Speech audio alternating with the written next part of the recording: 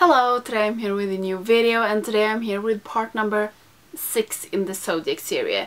And as normal, if you don't know what I'm talking about, I will leave my part 1 up here where I talk a little bit what the Zodiac series is here on my channel. So, this month Zodiac sign is Gemini and Gemini in Swedish is Tvillingarna. I am going to do a makeup look where this is in focus and if you have seen my other parts, you know that the shimmer shades in this palette isn't my favorites, but this one feels a little bit creamier. I can swatch it for you. This is like a gold, gold, creamy shimmer. So it looks like this. So I know what I want to do, at least think. And I will use some other palettes in this because this is a series where I can use whatever I want as long as the Zodiac shade is in the center. So I picked out three other palettes. I don't know if I will use all three of them. But we just get started and I will tell you which colors I am using. So I will start with a shade from the Paulina palette and this is actually up for pre-order again. I think there is still some palettes left if you want this. But I will start with this Humble and put it in my crease. And I think I will take it the whole crease. Yes, I want to do that. It feels so strange that it has almost gone half of 2019. When I started this series in January, I was like, I will never get through this palette, it felt like, and now I'm halfway through. And it's like, when did this happen? And I'm sorry if you can hear something in the background, but our neighbor across the street starting to trim their hedges, their bushes. And I'm like, why do you do it today? It's not even nice weather outside. Just be indoors and be quiet, please. So if you hear something, I'm sorry about that, but I I can't wait for him to be done with it. And I don't know the lighting. It's like the biggest struggle ever. Maybe this is better. It's so hard. Like in the viewfinder and when I editing, it's not looking the same, but I think this is maybe better. So, okay, the Humble shade is Sun and now I'm going into the Tri palette from Juvia's Place. And I am going to take this dark green Sun and I am taking this on my outer half of my lid. And I don't know if these two go that good together, but yeah. I have swatched like so many greens before I started this video because I know I wanted this sun and the Gemini shade. But then I was like what am I going to have in my crease so I swatched a lot of greens. But these two maybe go. This maybe works. What do you think about this Zodiac series? Do you think it's fun or do you just like oh not that video again. I think it's fun and also not fun. I think it's fun because I am having a series that I actually keep doing. I'm pretty good at starting series and then I just don't have the time to finish them or continue with them. But with this one, I am still doing it, so I guess that's a good sign. And I am thinking about if I'm going to do a review video on the Zodiac palette when this year is over and I have used all the shades. Do you think that is a good idea? I don't know how long this palette is going to be available or if it is like one of their palettes that's going to be available forever. I don't really know. Okay, so I think that this turned out pretty good. Okay, and then we are going into the Gemini shade. And I don't know if I want to cut this. But I think I will do like Jean, she sometimes do a faux cut crease with glitter glue.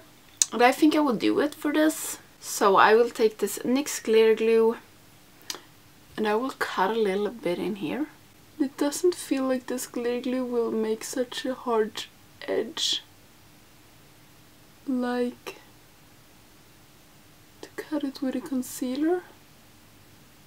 I'm just dragging it out a little bit. Okay, and then I will go in with the Gemini shade and see how this... Okay, this sticks pretty good. And I think I said it in the beginning and if you haven't seen my other parts of the series, I am not so impressed by this palette and I am not impressed like at all with the shimmer shades because they are they are not like the other shimmer shades Colourpop has. I don't know why, but this palette is like not like the other palettes, but this shimmer shade this was pretty good. I don't even know if I needed that glitter glue or maybe it's good because of the glitter glue. Maybe. I'm not mad at this shade at all. I will go in with some more from the Tri palette from Juvia's and try to blend this shade out and now I have a lot on my hands.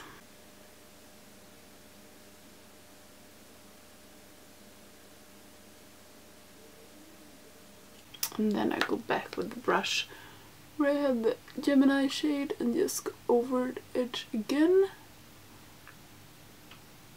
So I think that this is pretty good actually. I think this may be my favorite look with this palette. I don't know if I took the Gemini a little bit high, but I think I like it. Maybe I want to go in a little bit more with the dark green, just like in here and up in the crease. I'm just going back in with the Paulina palette and Humble, just a little bit right in here. Maybe I should have taken a smaller brush, but hey. Something like that. I think like gold and green is a really good combination. So yeah, I will do the other eye as well. You don't need to see that. So I will do the other eye, fix my base and my brows, and then we'll come back and we'll do something to the under eyes. Put a good lipstick for this. And see where we will how it will end up. So I will be back. I will just fix everything else. So for my under eyes I will start with Humble and put it with a larger brush. Okay, I want to do the exact same thing as I have on my lid. So I will start with Humble and I will try to hold this in some way shape or form. And I think I like give up. I'm trying here to see what I'm doing when I'm doing my under eyes. Because it's so hard.